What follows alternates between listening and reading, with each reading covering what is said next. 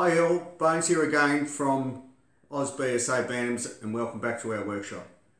A uh, couple of jobs on today and the first one is repair this broken out fin on this um, Bantam engine.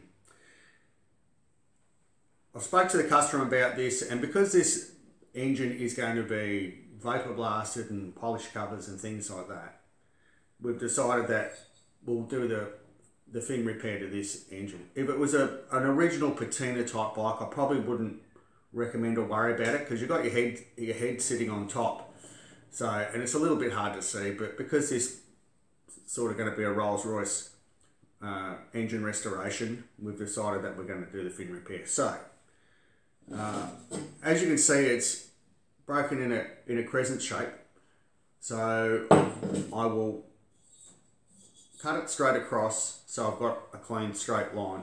That allows me to cut a bit out of this very butchered up barrel and I'm going to uh, bronze the, the new section back into this. So I've done it before and uh, it comes up alright. So we'll get stuck into it. First things first, I'll scribe a line across here and uh, get the grinder out and we'll, we'll trim that broken fin off. So I'll just get some safety glasses on because these ones are my normal reading glasses and we have scribed a line across there and I'm now just about to cut the old broken section off.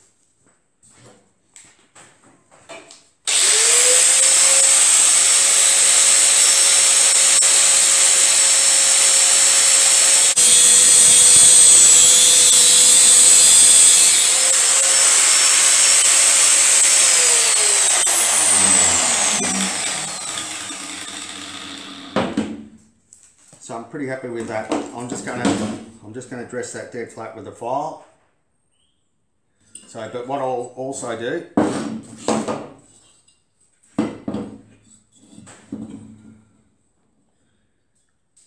is get some barrel studs and drop them down through the holes so both the barrels line up and then I'll use this as a reference to scribe across here and cut cut the other the other piece off here.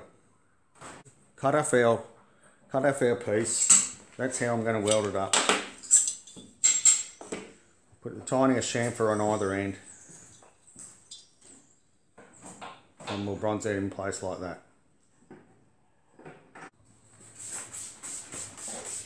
So we're getting ready to bronze this up. So ideally, obviously cast iron, you've got to get a, a heat soak through it. If you localise the heat, it just cracks. So um, I'll be welding the bronzing along here. Let it cool a bit, take the clamps off, then finish my edges. Finish my edges off. Alright, we're just going to start the job. I'm just slowly, slowly, slowly getting some heat into it.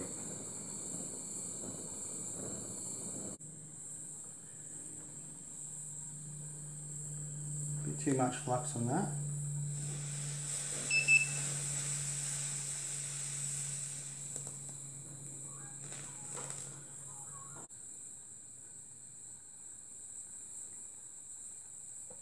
Right, it's just getting a fraction too much heat.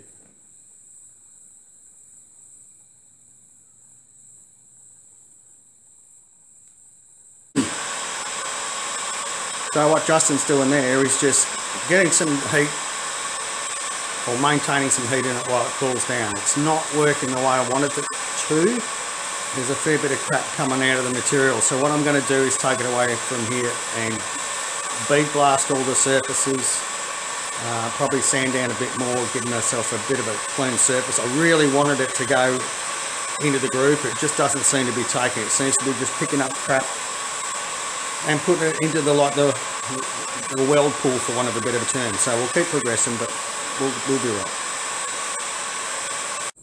So I put it, the job in the bead blaster, I'm just reheating again, cleaned up all that surface, which is probably what I should have done the first time. And we'll see how we go this time.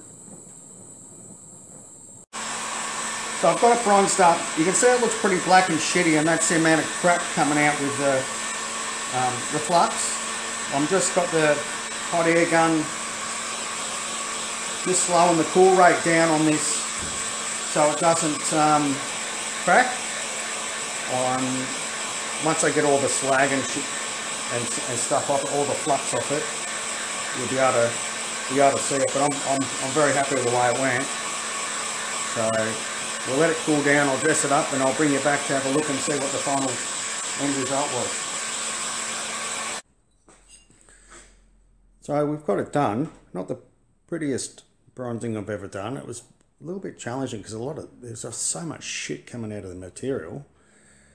Um, where it sort of looks like I've missed there, it's actually gone through the gap and and through there. But I mean, the, this barrel's getting blasted and painted, so um, probably might be being a bit picky on myself. I just wanted to run a bit better, but it just kept dragging crap out of the edge. Um, but we've got enough bronze in there and that's, you know, more than strong enough. And looks good too. And that's what we want.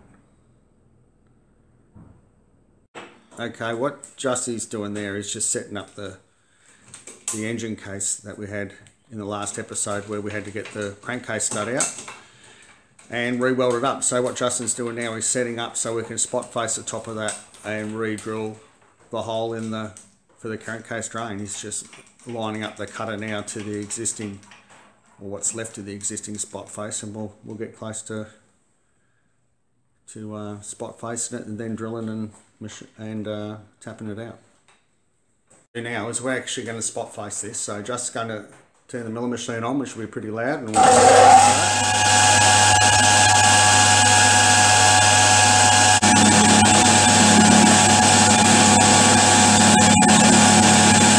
Okay, so what we've changed our setup. We've got a Jacobs chuck in, and now we're going to center drill the hole.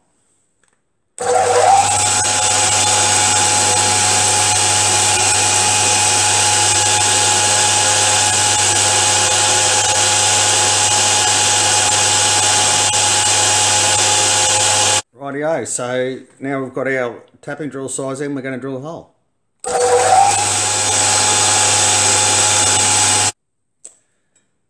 So we put a chamfer on that hole and, and Justin's just tapping it, that hole out now. We're really happy with where it uh, ran through into the crankcase.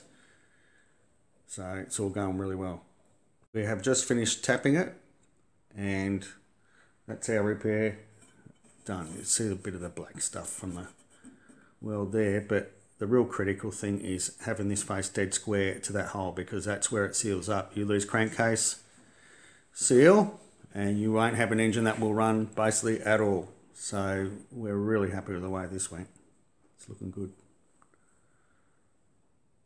Okay, so what we've done is put our cases out back together and our barrel back together.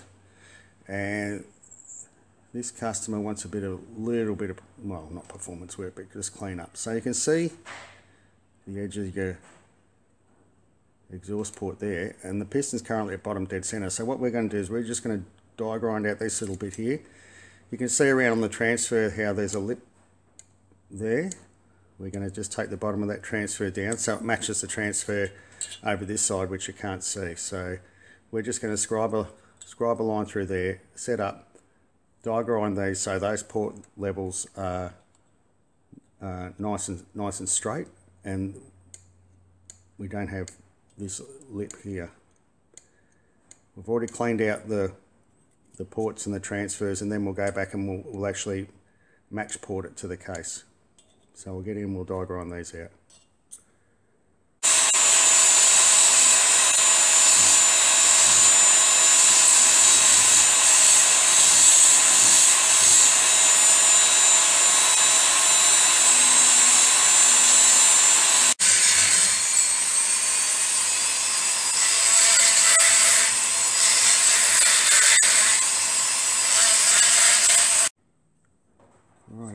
So we'll get around there to our, our exhaust port and as you can see we've taken that lips out of either corner.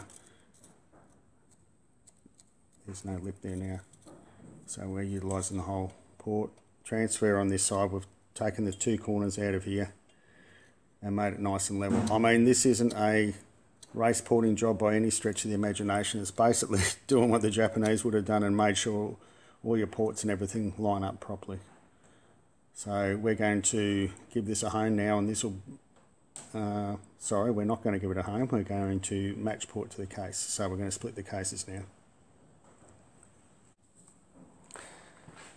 So what we're going to do now, we've dropped the barrel on and we're looking for a lip between the case and the barrel in here and we have got a lip it's over this side and the case is actually overhanging the barrel so we're going to have to take a little bit out of the side of this case. As I said before this is not a full-blown race porting job. All we've done is we're cleaning up all the ports make sure there's no casting dags make sure the ports are in the right position make sure there's no overlaps to interrupt the flow your through your transfers.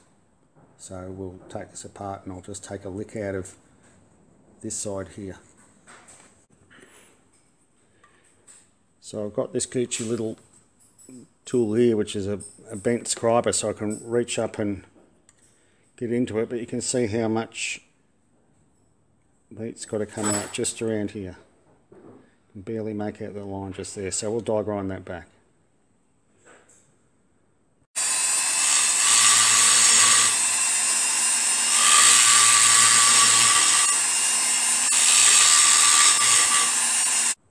So as you can see, we've just taken a bit out.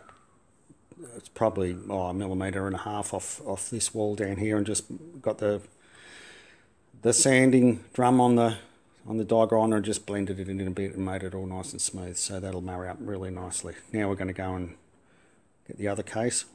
Obviously put the barrel on that and see what error we've got there. That's come up good.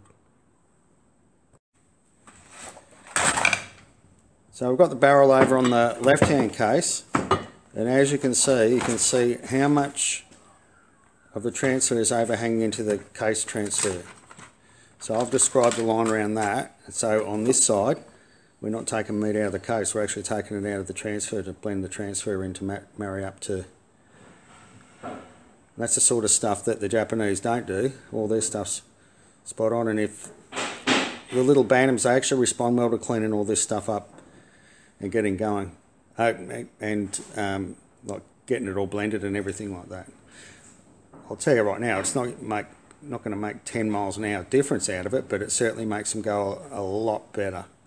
And these are all the little 1% things you can do to your engine to make them go really well. So yeah, we'll get in and we'll die grind that out. Oh, it's a little bit hard to see, but um, if I get the camera, that out of the way of the camera. there you go. You can you can sort of see um, how we ended up. I just sanded the the inlet of the case, but that's all that's all married up and it's really nice now. So barrel gets a hone and we send these away to go get blasted. Barrel will be blasted and painted. Okay, so what I'm doing now is going around all the edges of my ports and I'm just feeling with my finger to feel if they're a little bit knife edged. And if they are, put a riffler file and I'll just file the edge of that port away. That's I'll just put my finger in the exhaust and it's, the top edge is a little bit little bit sharp and that can snag a ring. So before it goes away I'm just filing a tiny little bit of a chamfer so that knife edge basically I'll put a tiny little chamfer on it, that's better. So, so yeah, you haven't got that real super sharp edge. Now also do your, do your transfers, that needs doing. And I'll need doing as well because we've gone in with the die grinder and finished up those edges so they'll have a sharp edge. So I'll go around all the ports, file the top and bottom edges off, little chamfering, doesn't snag the ring.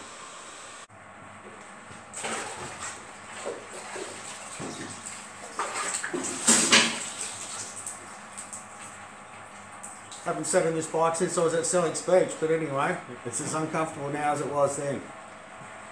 Alright, that's about it for this episode. Justin's just over there cleaning up the cases and the barrel. I've just given the barrel a hone and we're sending everything off to the vapor blasters to get all blasted up. Um, I hope you you've enjoyed this uh, this episode, and if you have, like or subscribe. And uh, that's about it. Thank you very much again to all my subscribers uh, for, for sticking with me. And from Justin and I at Oz Bantams, we'll see you later.